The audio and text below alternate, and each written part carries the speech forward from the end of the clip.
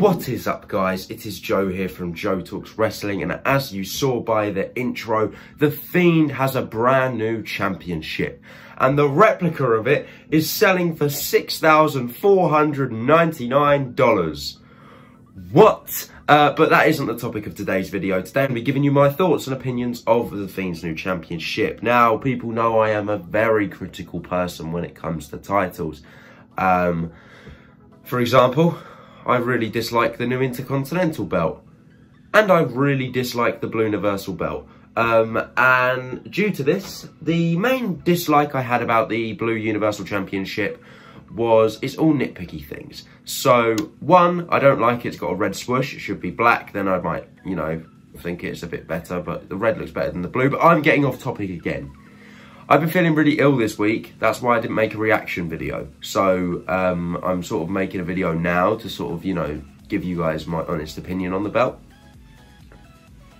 I had an issue that The Fiend has red match lighting and he has red attire. And everything The Fiend does is based off the colour red. Uh, like anything Fiend related is always red. He doesn't come out with green lights, you know what I mean? It's, it's red and they gave him a blue belt. And at Survivor Series, this looked really awkward because The Fiend just came out with a blue belt when he had red match. Um, and I wasn't a fan. So, on SmackDown, WWE rectified this by giving The Fiend an exclusive Universal Championship. So, Funhouse Bray still has the Blue Universal Championship, but The Fiend has this new championship, which is absolutely incredible, in my opinion.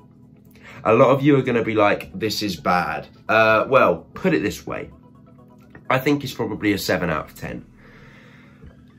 I think it could have been done better, but I am also happy with the result. I think it's really cool. It looks like they've got the skin of the Fiend and stretched it around into a belt.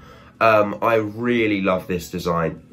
I think it's awesome. Obviously, there is no plates on it. It looks to just be completely made of leather um, and maybe rubbery sort of materials like the Fiend's mask. But it's awesome.